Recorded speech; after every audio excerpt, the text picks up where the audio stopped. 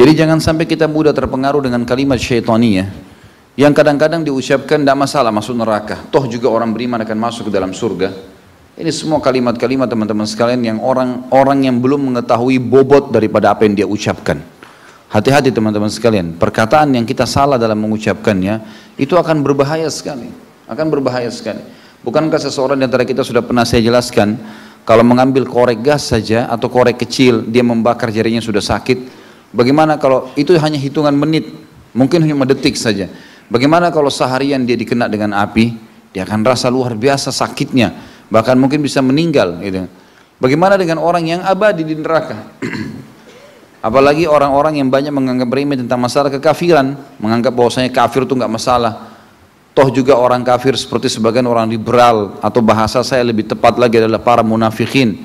Orang-orang munafik yang mengatasnamakan dirinya Islam, dan berlabelkan dengan liberal-liberal. Intinya mereka bernama nama Islam tapi membenci Islam mencari segala macam hal agar memojokkan Islam atau bahkan menyalahkan Islam. Ini saran kami untuk orang seperti ini murtad saja sekalian keluar dari Islam.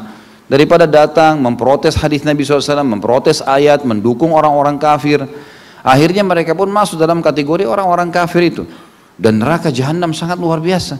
Sampai Allah subhanahu wa ta'ala memastikan dalam satu ayatnya bahwasanya Allah akan menggabungkan orang-orang kafir dan munafik dalam neraka jahanam. Jadi memang ini tidak boleh dianggap remeh dan kufur itu adalah semua orang yang memungkiri apa pun yang telah Allah titahkan atau perintahkan atau larang ataupun sebagiannya. Sebagiannya, gitu ya. Kita mengetahui bahwasanya kenapa orang muslim mengatakan Yahudi kafir. Tidak usah kita bicara kita dulu sebagai seorang muslim, Seorang Nasrani pun mengatakan Yahudi itu kafir. Apa sebabnya? Bukankah Yahudi itu juga beriman sama Allah? Bukankah juga dia beriman pada risalah Nabi Musa alaihissalam? Jawabannya iya. Lalu kenapa Nasrani mengklaim bahwasanya orang Yahudi kafir? Hanya karena Yahudi menolak sebagian yang telah Allah perintahkan, yaitu mengimani adanya Injil dan adanya Isa alaihissalam. Maka sudah cukup difonis sebagai kafir.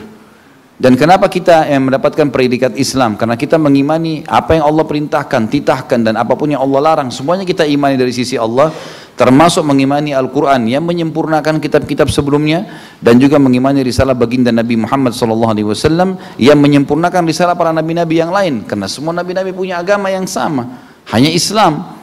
Nggak ada agama yang lain gitu kan. Memang cuma satu, inna dina indallahil Islam. Nggak ada agama yang kedua. Siapa pun yang menolak apa yang Allah titahkan atau sebagian darinya maka cukup sudah dikatakan mereka kufur. Bahkan ulama ahli sunnah wal jamaah sepakat mengatakan sampai memungkiri satu ayat Al-Quran atau satu orang nabi yang telah diutus atau informasi yang sudah pasti disampaikan dalam dalil-dalil yang sahih Al-Quran dan sunnah atau menghalalkan apa yang Allah halalkan atau sebaliknya menghalalkan apa yang Allah haramkan maka ini sudah cukup mencapaikan atau menyampaikan dia kepada kekufuran kepada kekufuran. Maaf sebentar.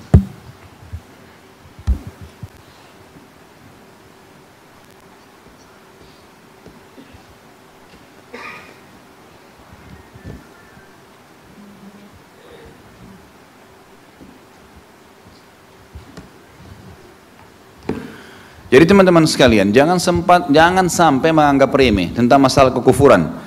Dan kita tahu ada hukum al-wala wal bara dalam Islam. Al-wala artinya kita loyalitas kepada kaum muslimin dan semua orang yang beriman kepada Allah dan kita barak berlepas diri dari semua orang yang kufur. Dan yang kita benci adalah kekufurannya. Sifat kekufuran yang ada padanya. Perilaku yang salah dari seorang ahli maksiat dan bukan fisik seseorang itu. Makanya hukuman datang pada atau penyebabnya adalah perilaku-perilaku mereka. Dan hadis-hadis yang menjelaskan tentang masalah neraka jelas memfonis orang-orang kafir ini akan masuk ke dalam api neraka dan kita harus yakin teman-teman sekalian, seyakin-yakinnya sebagai seorang muslim.